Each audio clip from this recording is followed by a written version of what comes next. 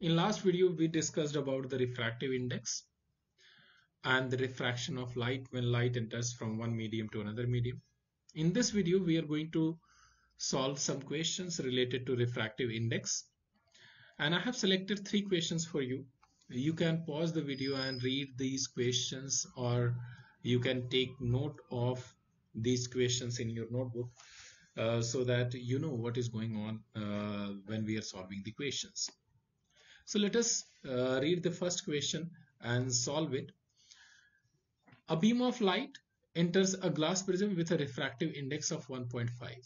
So when I'm reading the question, I can highlight the point uh, points which are given to us. Refractive index is given to us.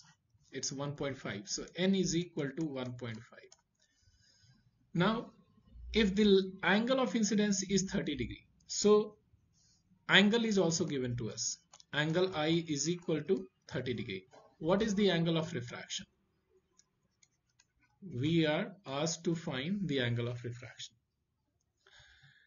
In last video we discussed about the formula of refractive index which is n is equal to sine i by sine r.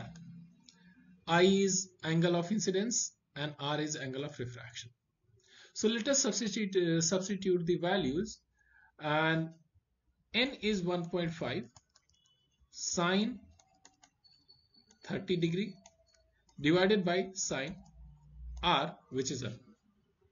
If we rearrange then we find a new value something like this sine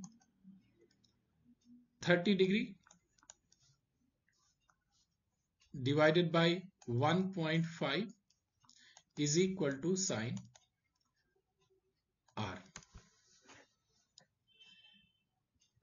right so if you substitute the value of sine 30 degree you will get 0.5 because sine 30 degree is equal to 0.5 divided by 1.5 which is equal to sine r. Now since we have to find the value of r, I can write it something like this. r is equal to sine inverse 0.5 divided by 1.5. If you simplify 0.5 divided by 1.5, you get 1 by 3. And when we take the sine inverse of 1 by 3 we get r is equal to let me calculate we get r is equal to 19.47 degrees. So r is equal to approximately we can write 19 degree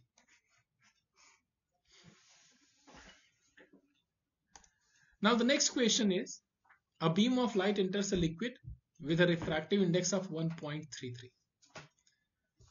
So refractive index is given to us which is 1.33.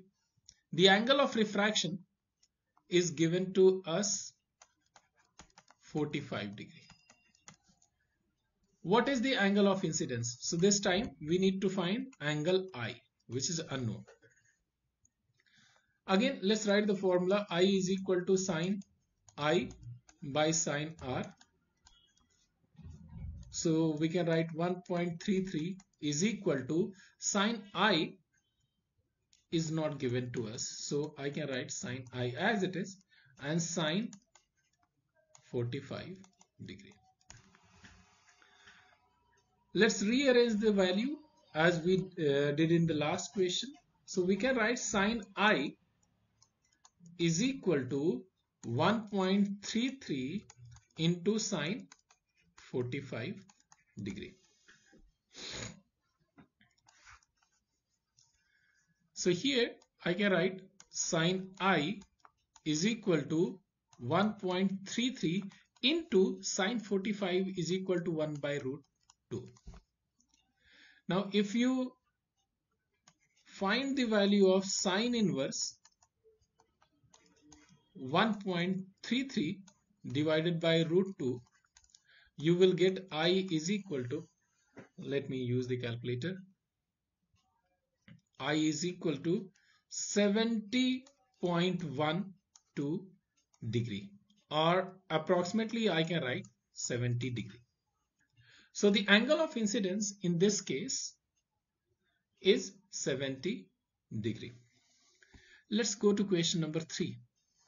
Question number 3 is a beam of light travels through a glass prism with a speed of 2 into 10 power 8 meter per second. What is the refractive index of glass? So let me draw a diagram in this situation. So imagine the situation is very much like we have studied in the last video that a ray of light enters from air to glass or air to water. So when it enters from air to glass, it bends towards the normal and this is the normal. This is the angle of incidence. This is angle of refraction, though it's not required here. Now let's see what is given to us in the question. Given to us is the speed of light in glass. It means we have we have v2 if you remember in the last video we had represented v2 uh, v2 as the speed of light in second medium so v2 is equal to 2 into 10 power 8 meter second power minus. minus and here we don't have v1 or we have. In question we don't have v1 but we can take speed of light in air equivalent to speed of light in vacuum. So speed of light in vacuum is 3 into 10 power 8 meters per second. So I can write here V1 is equal to 3 into 10 power 8 meter per second. Now let us find the refractive index refractive index n is equal to we can write the formula either sine i by sine r but do we need this formula? No. So what i'll do i'll write v1 by v2 it means speed of light in first medium to the speed of light in second medium. Let's substitute the values. We'll get n is equal to 1 uh, not 1 3 into 10 power 8 divided by 2 into 10 power 8.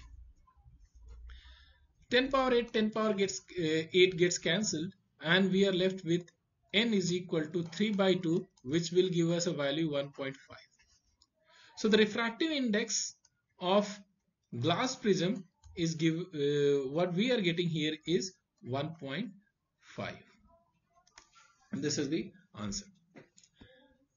I have given three questions for your practice which are uh, very similar to the last three questions which uh, we have practiced you can uh, take some time to practice these questions so that you know that we uh, you have understood all the three questions which we have solved earlier